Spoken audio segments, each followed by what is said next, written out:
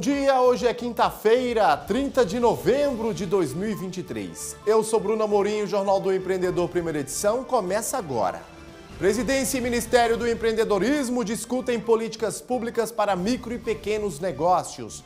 Conselho Nacional da Mulher Empreendedora reúne mil empresárias em São Paulo. E você vai conhecer as startups vencedoras do programa Capital Empreendedor 2023. Tudo isso e muito mais você confere aqui agora no Jornal do Empreendedor, primeira edição.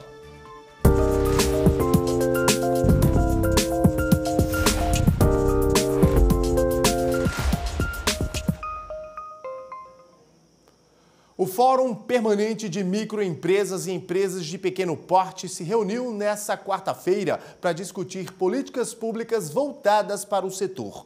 O repórter André Lage acompanhou. O governo fez mais um esforço para facilitar a vida dos empreendedores brasileiros. O presidente em exercício, Geraldo Alckmin, se reuniu com parlamentares e entidades ligadas aos micro e pequenos negócios e reafirmou que o governo vai disponibilizar 2 bilhões de reais para a digitalização das empresas. O valor faz parte do programa Brasil Mais Produtivo. Então, o Senai vai empresa por empresa analisando quais são os gargalos presencialmente. O SEBRAE apresenta os projetos e BNDES, FINEP financia para você fazer a digitalização e ir conseguindo uh, avançar. Durante a reunião, o ministro Márcio França, do empreendedorismo, disse que a facilidade de crédito é importante para impulsionar o setor e comparou as micro e pequenas empresas com o agronegócio. Segundo ele, se os pequenos negócios tivessem a força política dos produtores rurais, conseguiriam juros mais baixos e mais facilitados. Inclusive, com a criação do ministério, os pequenos negócios terão mais visibilidade e poderão garantir os mesmos benefícios do agro. Segundo o gerente de políticas públicas do Sebrae, essa pode ser a grande oportunidade para o crescimento dos micro, pequenos e médios empreendedores do Brasil. Então, de nada adianta toda essa legislação, todos esses discursos, se nós não tivermos na prática crédito que é o grande problema, não só do micro e pequeno, é dos grandes também. Ao final do encontro, o ministro também falou sobre o Simples Nacional e as sugestões do governo para mudar o sistema de tributação do setor. Quando o presidente Lula criou lá para trás, ele criou para facilitar e trazer umas pessoas para dentro. Nós trouxemos muitos. Já somos 15 milhões e meio de mês, mais 7 milhões de micro e pequenas empresas. São 22 milhões. É 93% de todas as empresas do país. Agora, é, na medida que nós vamos ter a reforma tributária, é o instante ideal para a gente começar uma nova vida com eles. Então, para atrair essas pessoas, é criar a linha de financiamento unificado entre todos os sistemas que o Brasil já tem. Vamos lembrar que os bancos privados e públicos são obrigados a destinar 2% de todos os depósitos à vista para empréstimo para essas pessoas. E nem sempre as pessoas têm acesso a esse dinheiro, porque os bancos naturalmente querem fazer empréstimo para quem tem uma série de garantias. E nós precisamos criar algum fundo garantidor para que possa fazer para essas pessoas, para entrar nas comunidades e emprestar dinheiro para todo mundo. E o Brasil tem mais de 10 milhões de empresas comandadas por mulheres. No entanto, as empreendedoras ainda enfrentam desafios na busca por crédito, salários igualitários e protagonismo nos negócios. Esses debates foram abordados no quarto encontro Liberdade para Empreender, em São Paulo troca de experiências, networking, busca de oportunidades. Esses são só alguns dos principais objetivos do Liberdade para Empreender, evento que aborda os mais diversos temas relacionados ao empreendedorismo feminino. Acredito muito nas mulheres, porque as mulheres, talvez pela formação, por ser mãe, elas são mais intensas, mais persistentes, mais resistentes e elas não lhe esmorecem. E isso tem trazido o sucesso que algumas histórias que eu aprendi a conhecer mostram o sacrifício, mas acima de tudo a garra com que elas se dedicam ao seu negócio. No centro dessa discussão estão mulheres protagonistas e inovadoras em seus segmentos, como a Ana Cláudia Cotait, presidente do SEMEC e integrante do Comitê de Empreendedorismo Feminino do Ministério da Economia. Todas vieram, trouxeram caravanas dos seus estados e de vários municípios. E eu acho que é essa, né, a integração entre essas mulheres e trazer todas para um evento único, para que elas possam realmente ter ideias, ter momentos de inspiração. A quarta edição desse encontro, realizada no Clube Monte Líbano, em São Paulo, reuniu cerca de mil mulheres, empreendedoras de todo o Brasil, personalidades, lideranças e convidadas que se destacam no mundo dos negócios. Hoje o mundo todo está abrindo portas para as mulheres. E eu vejo isso fora do Brasil, tanto é que a gente está internacionalizando o SEMEC agora.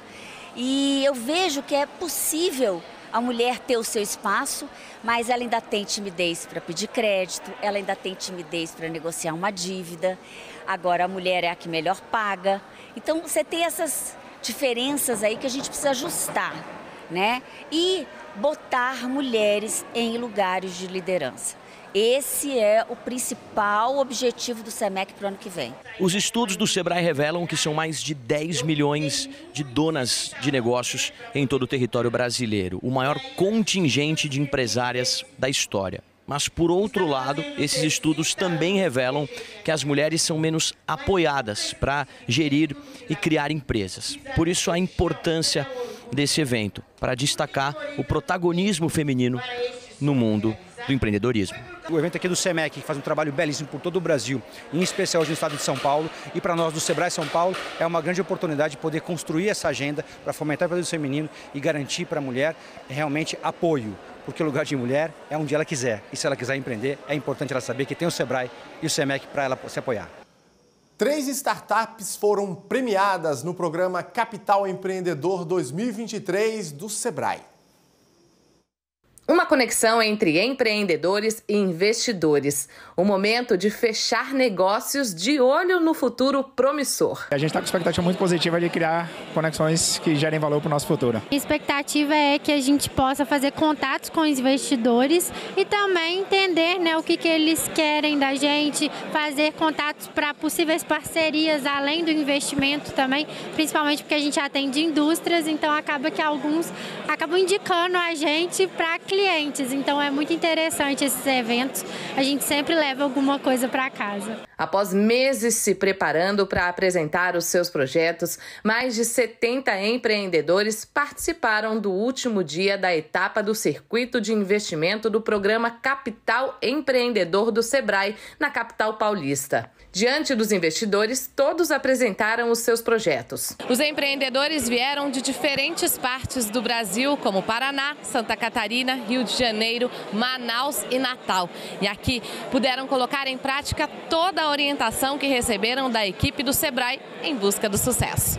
O final do programa, né, a gente passou Uh, sete meses em mentorias e que aliás foram bem profundas, muito ao contrário da maioria dos programas, né? Então a gente teve mentorias profundas de governança, de como apresentar o negócio para o investidor, sobre os números que a gente precisa apresentar, quais são os KPIs que, que interessam para cada um. Então foi bastante interessante. E fechando a edição deste ano do programa Capital Empreendedor, os três melhores projetos foram premiados. Na categoria Negócio de Destaque, a melhor startup foi a GR Pro de Minas Gerais. Olha, estou muito feliz de ter recebido esse prêmio, muito surpresa na verdade. Eu acho que só indica que a gente está no caminho certo, que a gente tem feito boas práticas e assim, para mim foi emocionante. Eu estou realmente feliz e surpresa neste momento, viu? O empreendedor destaque foi o da startup Caçambas Online. Foi muita evolução dentro da empresa, muito levantamento de métrica, de aumento em governança. Então, para a gente foi uma escola, né, o programa do Capital Empreendedor. A gente só tem a agradecer para o Sebrae. E na categoria Empresa Mais Atraente, a vencedora foi a Data Floral. Foi um MBA para a vida, né, em todos os sentidos. A gente ficou muito feliz porque foi um ano muito muito importante para a gente. O Sebrae foi assim um divisor de águas na vida da nossa empresa. Somos jovens, como dissemos, né? Estamos desde 2021 no mercado, mas foi assim não só um prêmio para a Data for All, mas eu como CEO representando as mulheres na tecnologia foi um prêmio também para o meu coração. Foram oito meses de treinamento com startups de todo o Brasil. A gente começou é, com 1.081 inscritos, desses 500 foram classificados para o ciclo do ano inteiro. Desses 500 passaram pela etapa de workshop, passou, ah, foram classificados por investidores em bancas de investimentos, 140 seguem pra, seguirão para a etapa de mentorias. Foram mais de 40 horas de mentorias em vários temas, governança jurídico, aspectos é, é, governamental, é, de governança, comportamento, onde os mentores auxiliaram eles na construção do modelo de negócio deles. Desses 140, 73 estão aqui, foram classificados para a etapa final, que é o circuito de investimento. E aqui foram dois dias de, de encontros, né? E agora, quem deseja participar do programa no ano que vem, já pode ir se preparando. O ano que vem a gente começa, deve começar no final de março, abrindo inscrições. Aí a gente faz o lançamento em meados de abril. E aí abre inscrições para o Brasil inteiro e a gente vai receber startups de todos os estados do Brasil em todas as verticais. Nós vimos na reportagem que a categoria Empreendedor Destaque foi para uma startup lá do Paraná, a Caçambas Online. E nós vamos saber do César Rissetti, diretor do Sebrae Paraná, como foi o acompanhamento das empresas selecionadas no estado. Rissetti, seja muito bem-vindo mais uma vez aqui conosco ao Jornal do Empreendedor Primeira Edição. Um bom dia para você. Bom dia, Bruno. Tivemos aí recente esse grande programa que o Sebrae tem aí desde 2018, que tem dado os bons resultados para os investidores e empreendedores. Dois dias de muitos negócios, de muitas novidades, né, Risset? Isso aí é a importância né, desse evento, principalmente para os micro e pequenos empreendedores. É, no, é grande final, né? mas a gente sabe que até chegar lá tem muito a se preparar. É exatamente todo esse processo que esse programa chamado Capital Empreendedor possibilita aos empreendedores, às startups, essas empresas que têm soluções inovadoras para problemas reais. Né? O exemplo que a gente tem aqui do Paraná, da Caçambas Online, a gente sabe como que o segmento da construção civil tem crescido e a demanda, portanto, por gestão de resíduos também. Então, o empreendedor percebe uma dor de uma determinada cidade né, e oferece a sua solução de forma inovadora. E o capital empreendedor vem exatamente para ajudar ele, ajudar ele a se preparar. São oito meses de capacitação, de workshop, de treinamento e de mentorias. Né? E a mentoria é aquela pessoa que sabe como fazer e ajuda esse empreendedor a também fazer no seu negócio. E esses empreendedores, durante esse período, eles passam também por várias etapas de apresentação frente a investidores. E afinal, lá em São Paulo, mostrou que essas pouco mais de 70 das mais de mil inscritas chegaram muito bem preparadas. Mesmo aquelas que não tiveram, né, não foram sagradas como a melhor da sua categoria, tenho certeza absoluta, Bruno, que se prepararam, estão muito bem né, dispostas a receber investimento dos nossos investidores anjos aí, outros investidores. E essa preocupação, né, Risset, com as práticas verdes, com a sustentabilidade, com a gestão de resíduos, seja na construção civil ou em outros modelos de negócios, tem crescido cada vez mais aqui no país, né? Sim, a gente tem a. É, são os termos né, que o mercado cria, né? Esse caso é as chamadas clean techs, né? São tecnologias né, limpas, né? São tecnologias para é, garantir a gestão né, de resíduos e outras práticas de sustentabilidade. É um grande mercado que está se abrindo para, os, para as empresas, uma oportunidade. A gente tem exemplos de empresas que estão oferecendo soluções dentro do que o mercado convencionou chamar da ESG, né? são práticas ligadas à questão ambiental, econômica e social, e essas práticas estão dando é, origem a oportunidades de mercado, como é o caso da Caçambas Online. E a gente vê outras oportunidades né, se abrindo, essa relação em servir o mercado, seja o consumidor final, a Caçambas Online é um caso que serve ao consumidor final, mas também as empresas. Né? A gente vê grandes empresas, grandes empreendimentos que precisam das tecnologias. E exatamente o oferecimento dessas tecnologias abre muita oportunidade para as nossas empresas, para as chamadas startups. Então há muito mercado nas chamadas clean techs, tem crescido bastante e a gente tem visto aí cada vez mais a solução para uma situação real, que é uma situação de cuidado né, com os resíduos, cuidado com o que a gente chama com o nosso habitat, com o planeta, dando origem a oportunidades. E é por meio da tecnologia que a gente acredita que vai solucionar grande parte das questões que a gente está aí né, é, tendo a condição de fazer a diferença no nosso planeta e nos né, prepararmos para um futuro melhor. Rissete, como as empresas podem participar desses programas de aceleração, de aceleração para startups, do programa do Sebrae? É, o Sebrae já, no caso do Capital Empreendedor, desde 2018, a gente vem ano a ano oferecendo esses, esse produto. Então, o empreendedor que tem a sua empresa e queira ser acelerado, queira preparar para receber investimento, melhorar o seu empreendimento, é, focalizar mais o seu negócio, ele pode procurar o Sebrae no Brasil inteiro, aqui no Paraná, também em todos os nossos escritórios. A gente tem um programa de startup em cada região do estado do Paraná. E ali você tem todo o apoio e ajuda para se preparar, para acelerar seu negócio, encontrar mercado né, tem condições de você perceber é, mercado com outras empresas que o próprio Sebrae atende e entrar aí no capital empreendedor que abre, como foi colocado pela matéria, pela auxiliadora, já no início do ano que vem já vai abrir uma nova chamada. Então fique atento, mas até lá se prepare. Tem várias soluções que a gente oferece para as empresas e é procurar os canais de atendimento do Sebrae aqui no Paraná e no Brasil todo site do Sebrae na R7, sebrae.com.br ou 0800 570 0800. Isso mesmo, nos nossos canais à distância, né, os canais digitais, e tem várias soluções, Bruno, que são disponibilizadas forma gratuita, né, por meio do portal do Sebrae, sebraepr.com.br, sebrae.com.br no Brasil inteiro, e que você pode ter acesso e já ir se preparando, né, e já está no momento da oportunidade o que a gente fala. Se você tem a oportunidade e não está preparado, a oportunidade vai ser aproveitada por outro. Então, seja você o que vai aproveitar a oportunidade. Portanto, se prepare. É isso aí. Fica a dica do César Rissetti, diretor técnico do Sebrae Paraná, César, mais uma vez, muito obrigado pela sua participação conosco aqui ao vivo no Jornal do Empreendedor, primeira edição. Eu que agradeço. Uma boa semana a todos. Boa semana a você, Bruno, e toda a equipe. A todos nós. Obrigado. E no próximo bloco, Brasília lança movimento para valorizar a economia e a cultura da capital federal. Não saia daí, a gente volta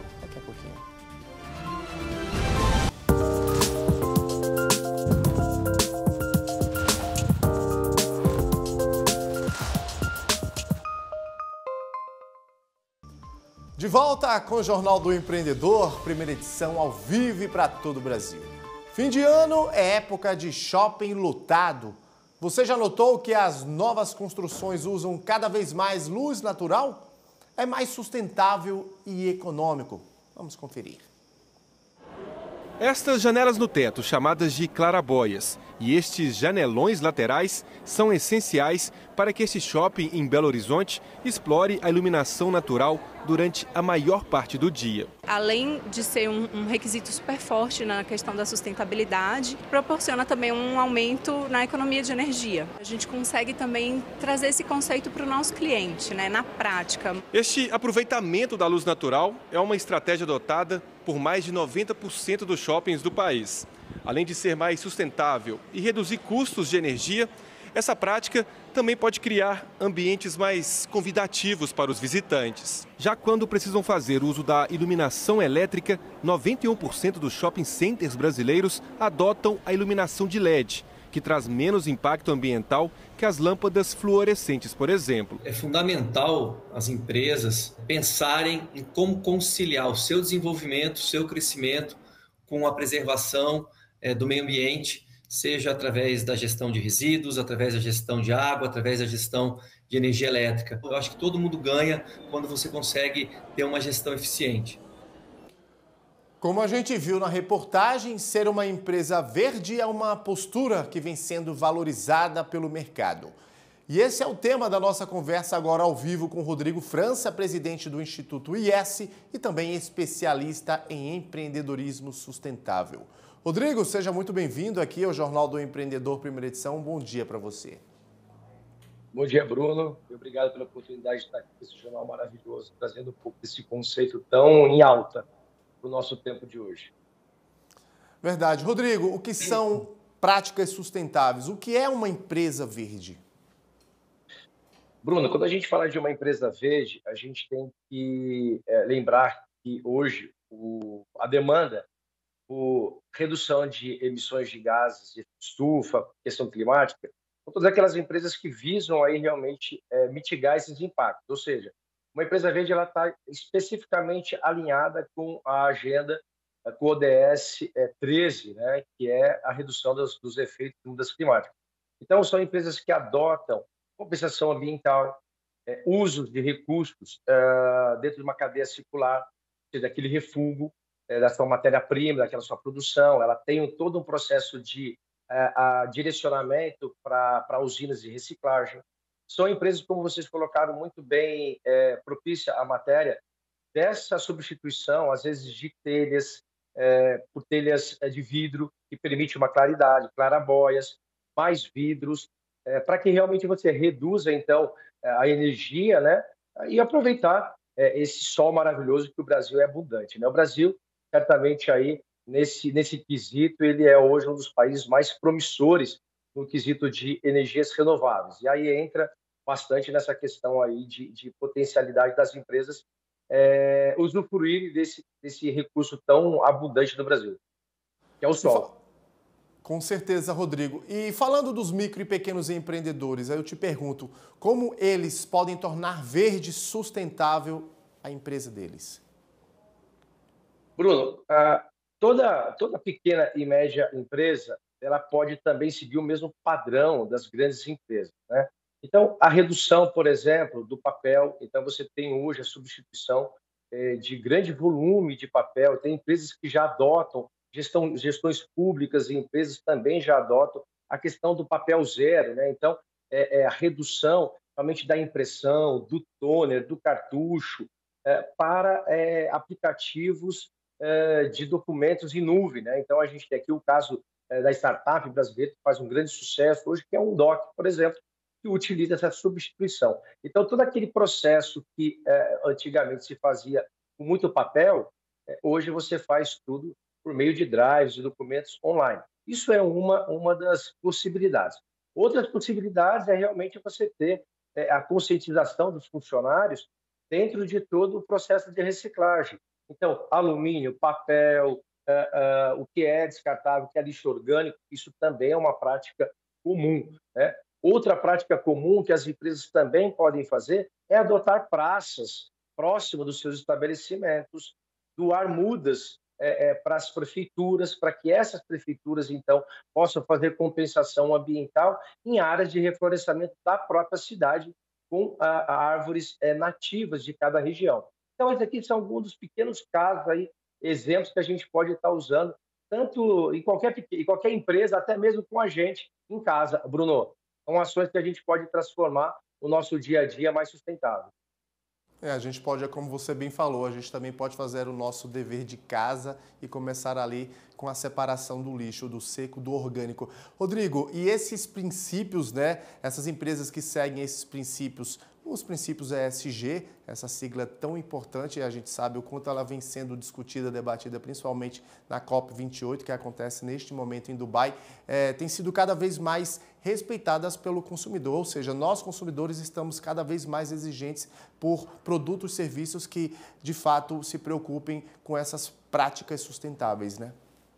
Exatamente. E uma coisa interessante nisso, Bruno, que é o seguinte, é, a, o consumidor ele não liga é, de pagar um pouco mais caro, quando ele percebe que realmente aquele produto ou aquele serviço é, traz um valor agregado de impacto que a gente chama de impacto socioambiental, ou é, é, como o próprio Kotler né, é, fala no marketing societal, tudo aquilo que a gente faz, é, tanto para a sociedade quanto para o meio ambiente.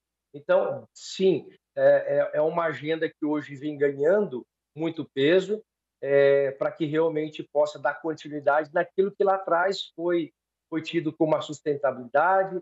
Depois nós entramos aí com o conceito da responsabilidade social corporativa e hoje a gente escalona isso daí dentro do triple bottom line lá, né, que é o tripé da sustentabilidade, ambiental, social e cultural.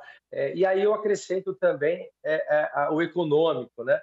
Então hoje a gente tem condições é, por meio da tecnologia, tecnologias limpas, né, é, inteligência artificial, de criar realmente é, uma compensação entre produzir mais de, de forma mais sustentável por causa dessas tecnologias limpas e ao mesmo tempo aumentar o PIB, o que alguns anos atrás era um pouco mais difícil, porque quanto mais você produz, mais poluição você causa.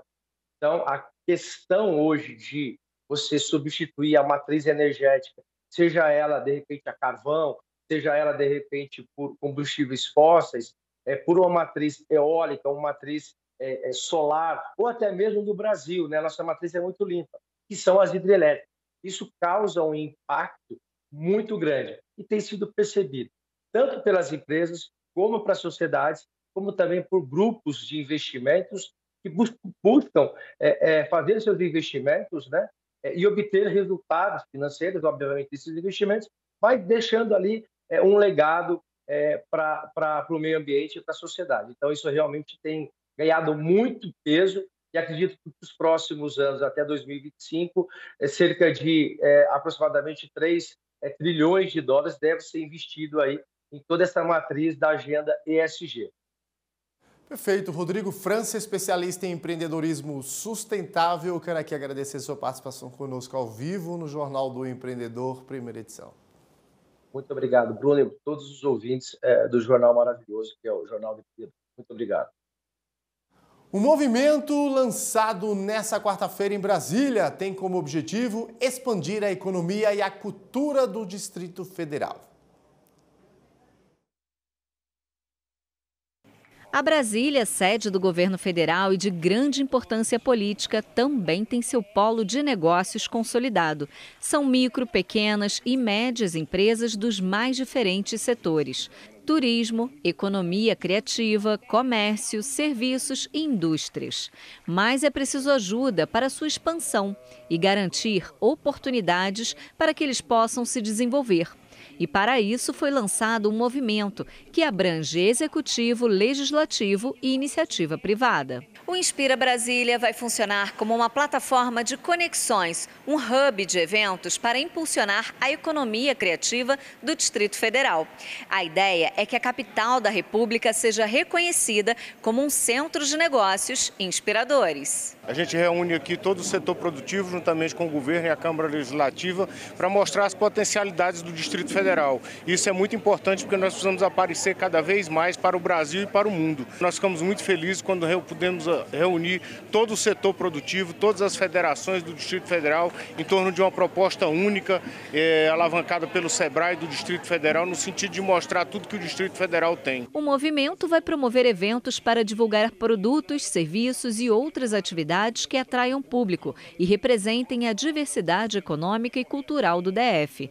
E a inspiração vem de projetos do SEBRAE, que também participa do movimento. A participação do SEBRAE é juntar todas essas outras instituições e nós juntos, igualmente, vamos fazer de Brasília um palco de grandes eventos no período de 28 a 10 de março de 2024. Os eventos que serão organizados pela iniciativa privada farão parte do calendário oficial da cidade.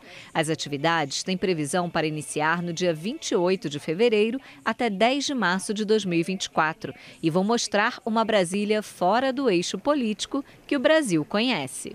Brasília é a cidade da tecnologia. Nossa juventude aqui, ela é dinâmica, ela é inteligente, ela precisa de oportunidade.